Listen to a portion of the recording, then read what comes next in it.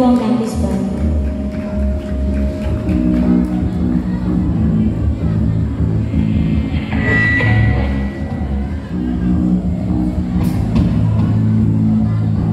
Makakilala ko na pala